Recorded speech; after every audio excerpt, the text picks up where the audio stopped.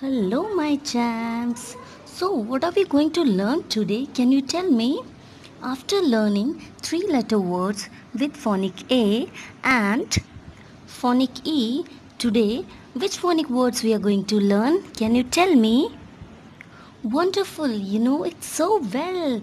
We are going to learn three letter words with phonic I. Now tell me, what does I say? I says.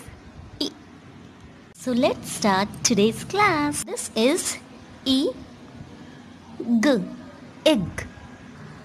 And this will be B E G big. D E G dig. F E G fig. J E G jig. M E G mig P E G pig W E G wig. Now this will be E D id. B E D bid. D E D did.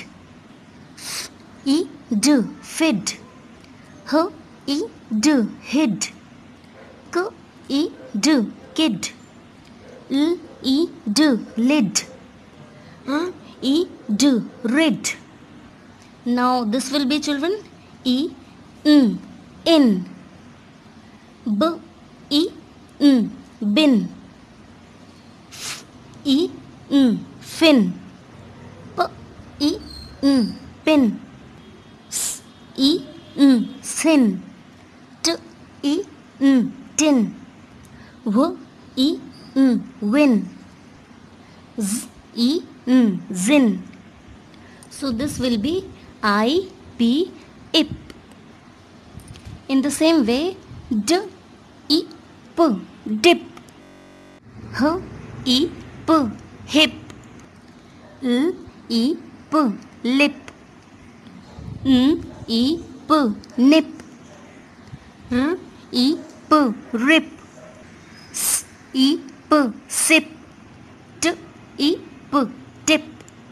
Z, e, p, zip. Okay, now children, tell me this. E, t, it.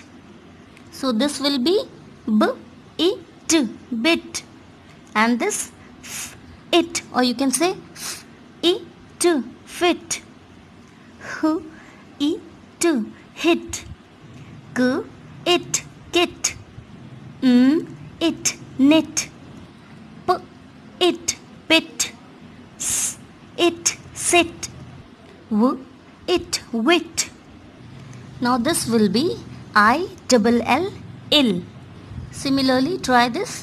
B ill bill F ill fill H ill hill M ill mill P ill pill T ill till W ill will See children how nicely you have learned three letter words with phonic I. I must say you are doing very well.